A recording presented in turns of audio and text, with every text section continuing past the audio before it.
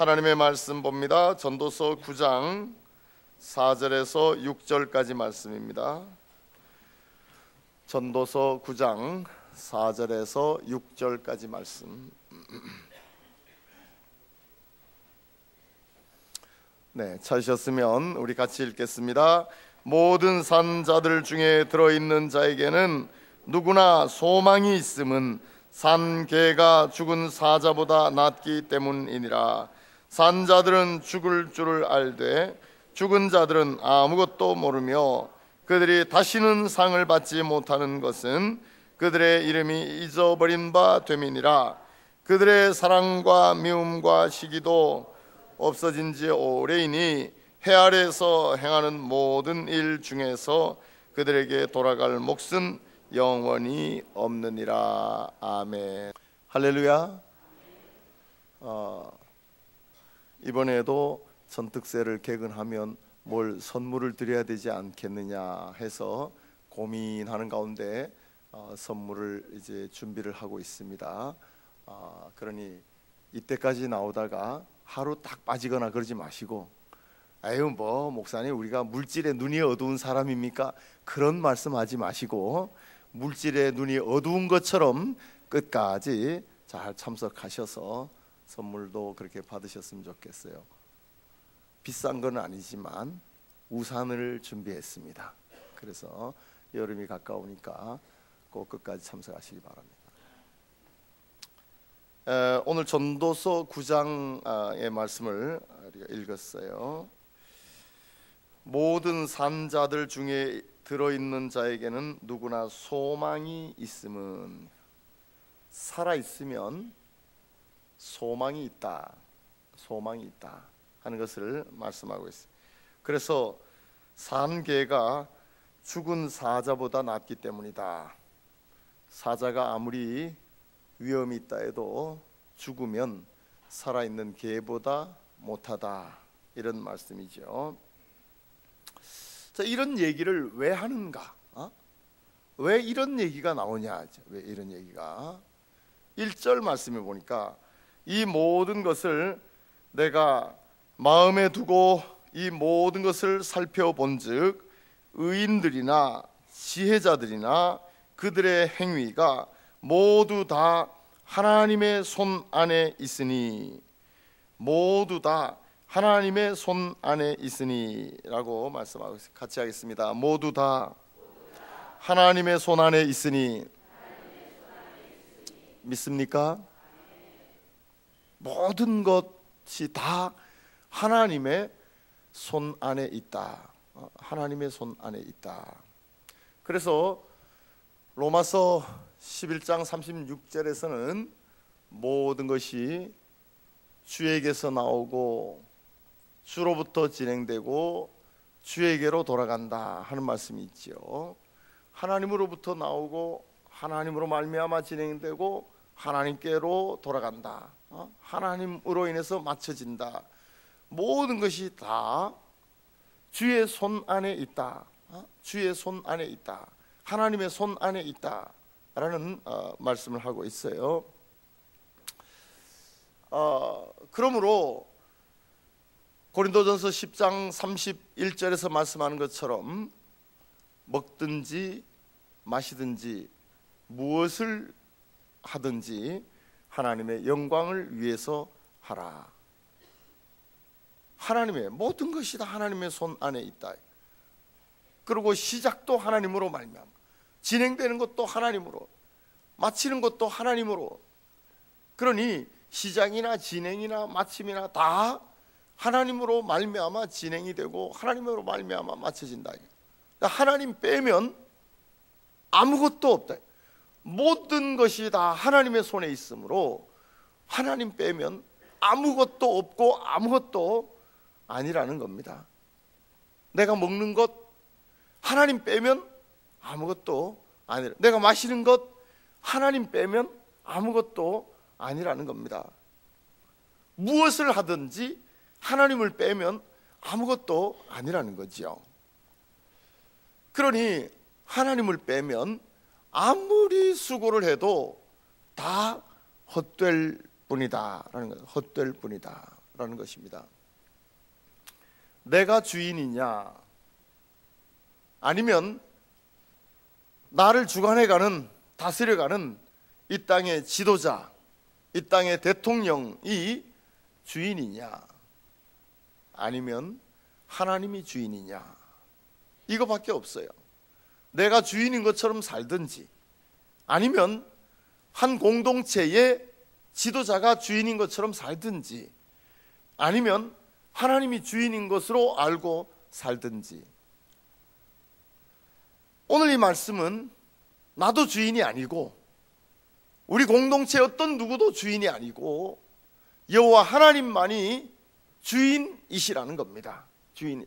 그러니 심지어 먹는 것 마시는 것도 그 주인이신 하나님을 위해서 하라라고 말씀하고 계십니다. 심지어 빌립보서 1장 20절에 보면 죽든지 살든지 내 몸에 여호와가 존귀케 되기를 원하노라. 이 바울은 로마 감옥에서 편지를 쓰면서 죽든지 살든지 내 몸에 여호와가 존귀케 되기를 원한다라고 이야기하고 있어요.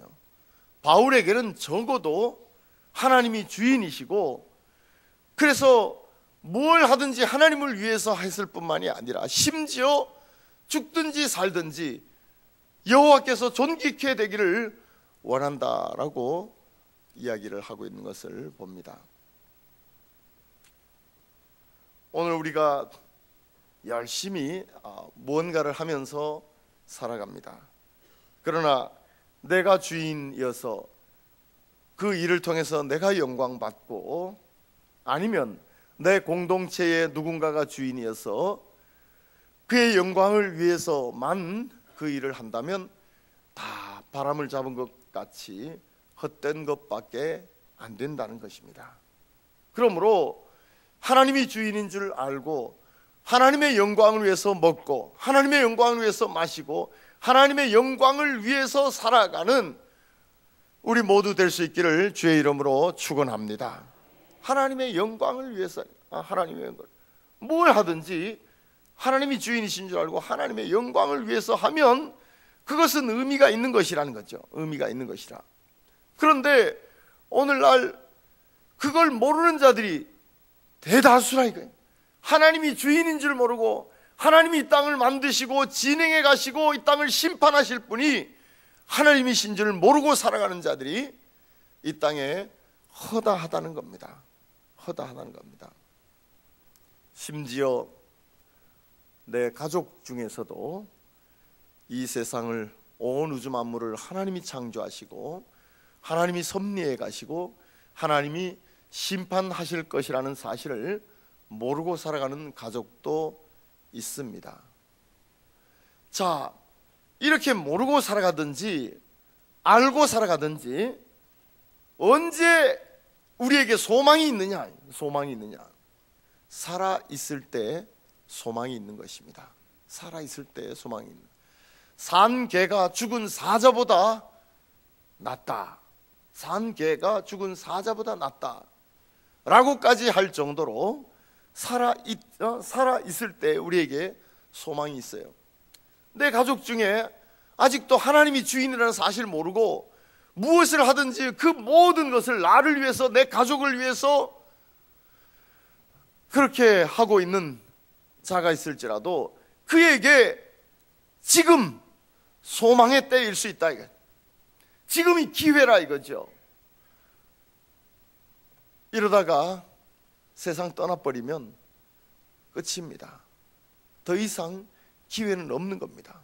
아니, 세상 떠나고 나서도 자손들이 제사를 지내며 부모를 위해서 기도해주면 그러면 부모가 바뀌지 않겠느냐, 부모가. 죽은 이후에도 자녀들의 기도 때문에, 자녀손들의 기도 때문에, 자녀수들의 선행 때문에 죽은 이후에도 바뀌어서 지옥에서 천국으로 바뀌어지거나 연옥에서 천국으로 바뀌어지는 이런 경우가 없느냐? 없습니다. 모든 기회는 살아 있는 날 동안만입니다. 살아 있는 날 동안만이에요. 모든 산 자들 중에 들어 있는 자에게는 누구나 소망이 있음을 오늘 살아 있는 여러분과 저와 우리 가족들과 이웃에게 소망이 있기 때문에 산 것이 귀한 것이에요. 지금 살아있는 것이 기회를 가지고 있고 소망을 가지고 있을 수 있기 때문에 귀한 것이래. 귀한 것이란 말이죠. 이 소망이 가장 기본적이고 가장 중요한 소망이 뭡니까? 하나님의 백성이 되어서 저 영원한 천국에서 영원히 살 수 있는 것이 오늘 우리에게 소망이요. 아직도 안 믿지만 그러나 기회가 주어진 살아있는 자들에게 소망이 될 수 있기 때문에 산 것이 이것이 귀한 것이란 말이에요. 어? 살아있는 것이 귀한 것이에요. 그렇습니다. 오늘 여러분과 여러분의 가족과 여러분의 일가 친척과 직장 동료와 이웃과 어느 곳에서 누구를 만나든지 그들에게 기회이므로 이 기회가 소망이 될 수 있도록 바꾸어 줄 수 있는 우리 모두 될 수 있기를 주의 이름으로 축원합니다. 그러므로 우리에게는 사실은 책임도 주님이 주인이시면 책임도 주님에게 있는 것이지 나에게 없는 것입니다. 내가 주인으로 살면 모든 것의 책임이 나에게 있는 것입니다. 마지막 심판 날 하나님 앞에 설 때에 그 모든 삶의 책임을 내가 다 감당해야 하는 것입니다. 아무리 내가 잘난 맛에 살아도 나는 있는 그대로 하나님 앞에 서면 심판받을 것밖에 없습니다. 심판받을 것밖에 없어요. 그러나 하나님께 모든 것을 다 돌리면 하나님이 모든 것의 주인이라고 믿고 하나님께 모든 것을 다 올려드리고 하나님의 영광만을 위해서 살아가면 그 모든 것의 책임은 하나님께서 대신 져 주십니다. 그러므로 나는 부족하지만 나는 사실 애써서 살았지만 제대로 되지 않는 얼마나 많은 일들이 있습니까? 그러나 이 모든 것의 책임을 하나님께서 대신 져 주신다 하는 말씀이죠. 그러므로 하나님께 하나님을 주인 삼고 사는 자는 항상 기뻐하며 살 수 있습니다. 하나님께서 나에게 주신 가정의 아내와 남편과 자녀와 부모와 즐겁게 살아갈 수 있어요. 사실은 세상은 수고와 슬픔뿐인 세상이고 염려와 근심과 두려움 속에 살 수밖에 없는 세상이지만 내가 주인이 아니고 하나님이 주인인 줄 알고 그 모든 것의 책임을 하나님께서 대신 져 주시는 줄 알고 하나님께 다 맡기고 살아갈 때 염려도 하나님께 맡기고 두려움도 하나님께 맡기고 미래도 하나님께 맡기고 내 일의 결과도 하나님께 다 맡기고 살 때에 우리는 걱정도 두려움도 없이 비로소 즐거움과 평안, 자유라는 것을 맛보며 살아갈 수 있는 것입니다. 우리가 사는 동안 내가 내 삶의 주인인 것처럼 사는 것만큼 어리석은 삶이 없습니다. 이 무거운 인생의 짐을 나 홀로 지고 살아간다는 것이 얼마나 힘드는 일인지 모릅니다. 계속해서 걱정거리가 생기잖아요. 다 끝난 줄 알았더니 아니에요. 걱정거리가 이제는 끝났나 싶었더니 아니에요. 또 이어져요. 또 이어져. 이거 뭐 하나 해결이 되고 나면 이제 다 됐구나 싶어가지고 이제 비로소 마음의 자유를 누리고 평안을 누리고 살아가려고 봤더니 또 걱정거리가 다른 종류의 걱정거리가 생겨요. 또 생겨요. 끊임없이 우리의 인생은 끊임없이 걱정거리와 두려움의 일들이 끊임없이 생기는 겁니다. 그러나 이 모든 것을 나 홀로 지고 살아가지 않도록 하나님께서 주인 되어 주셔서 얼마나 감사한지 몰라요. 얼마나 감사한지. 내가 내 삶의 주인이 아니라는 사실이 불행이 아니라 행복인 줄 믿으시길 바랍니다.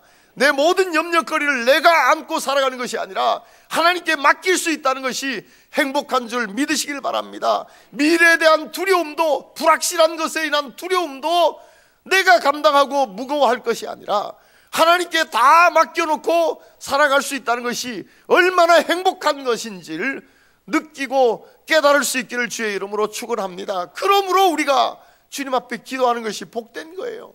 이게 보통 복된 게 아니에요. 염려거리도 하나님께 다 맡길 수 있는 시간이 기도의 시간이에요. 두려운 것도 하나님께 다 맡길 수 있는 시간이 기도의 시간이에요. 뭔가를 하면서 그 결과에 대해서 자신이 없어도 하나님께 맡길 수 있는 시간이 기도의 시간이에요. 성전 건축 우리가 성전 건축을 한다고 하지만 건축도 인간적으로 생각하면 걱정거리가 얼마나 많습니까? 하나부터 열까지가 다 걱정거리죠. 그러나 하나님께 맡길 수 있다는 것이 얼마나 감사한지 몰라요. 어?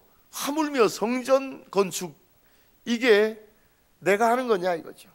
그렇지 않아요. 하나님께서 하시는 거예요. 그러므로 내가 손 놓고 있어도 되느냐? 그건 아니죠. 하나님께서 부지런하라고 말씀하시니까 하나님 맡겨주신 사명에 충실하게 부지런하게 살아가되 염려 걱정 두려움거리는 하나님께 다 맡길 수 있다 이거. 이거 모든 것의 주인이 하나님이시고 하나님께서 시작하시게 하나님께서 진행하시고 하나님께서 마치는 줄 믿고 하나님께 다 맡길 수 있으니 얼마나 감사한 일이냐 말이죠. 얼마나 감사한 일이냐. 오늘 그렇습니다. 여러분이나 제가 예수 믿고 사는 행복이 여기에 있는 것입니다. 예수 믿고 사는 행복이 여기 있는 거죠. 예수 믿고 살면서도 똑같이 염려하고 걱정하고 똑같이 두려워하고 미래의 불확실성 때문에 정말 그것에 사로잡혀 가지고 산다면 거기 무슨 어 뭐 거기 무슨 자유가 있을 수 있고 거기에 무슨 평강이 있을 수 있습니까?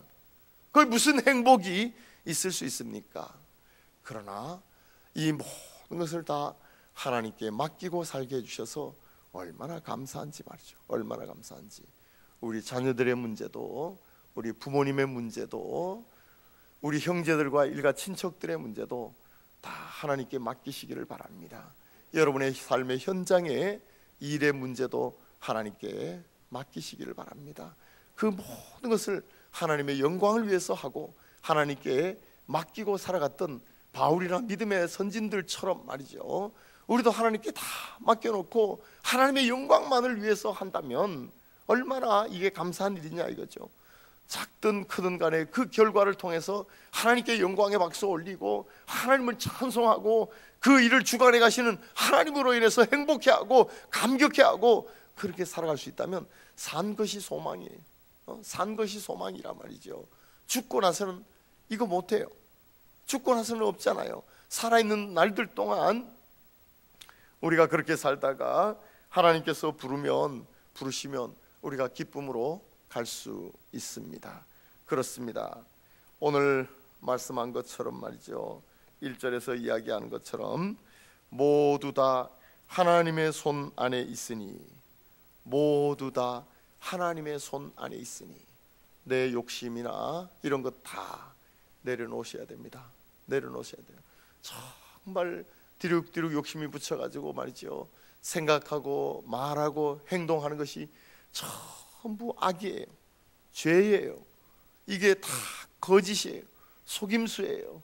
이렇게 살다가 나도 모르는 사이에 하나님께서 오라 하시면 하나님 앞에 설, 서서 할 말이 없을 겁니다. 할 말이 다 하나님의 것인 줄 알고 내게 주어진 돈, 내게 주어진 어, 지식, 내게 주어진 명예, 내가 출세하게 된 것, 나에게 있는 관계, 가족들 다 하나님의 것인 줄 알고 하나님의 영광을 위해서 쓸 수만 있다면, 하나님의 영광을 위해서 사용할 수만 있다면 그 모든 것이 다 귀한 것이 될 거예요. 다 귀한 것이 될 거예요.